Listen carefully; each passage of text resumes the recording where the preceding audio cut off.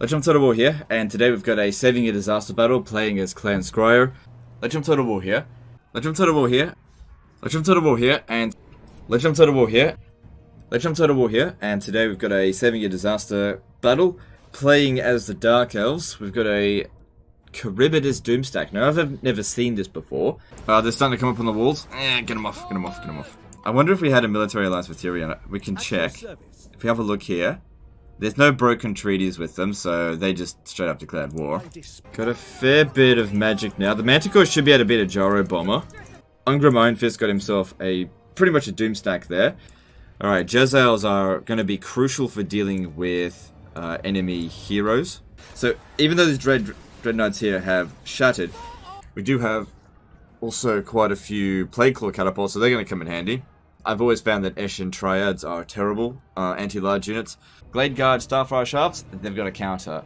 Uh, Tree Men, they've got a counter. Tree Kin, counter. Heroes, counter. Chaos with a Dragon Ogre Shaggoth spam. Dragon Ogre Shaggoths. Dragon Ogre Shaggoths. They'll Dragon Ogre Shaggoths are anti-large units. Even anti-large cavalry from Bretonnia still get wrecked uh, by Dragon Ogre Shaggoths these guys are just not going to be able to get to the Hellstorm rocket battery. Like, and if they do manage to get to it, the Hellstorm rocket battery will have already used up most of its ammo. And if you do get a Civil War, that should basically make sure it's to your favor. It can be really irritating.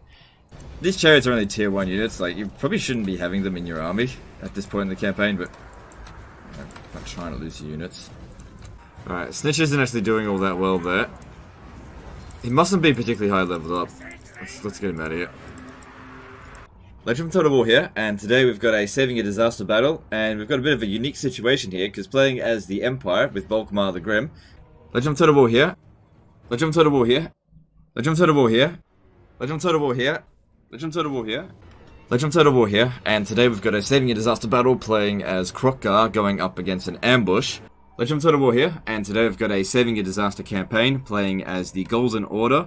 Legend Total War here, and today I want to talk to you about the channel and some goals I've got for it. Because I don't want to meet Norscan factions, for example, because I know that they have a habit of declaring war on you. Ancient Salamanders, we'll, we'll see. Sacred Kroxigors in a in a line situation might be okay.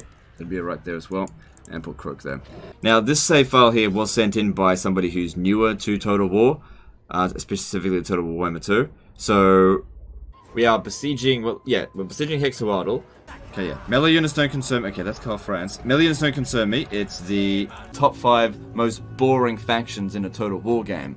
If you look at Bretonnia, Bretonnia's got some interesting... Bretonnia is very weak, okay? You could, if you really want to, just vassalize a lot of the Norscan guys and let them do it for you. Meanwhile, you just sit up in the north and chill and suck each other off. Sigvald probably enjoys that.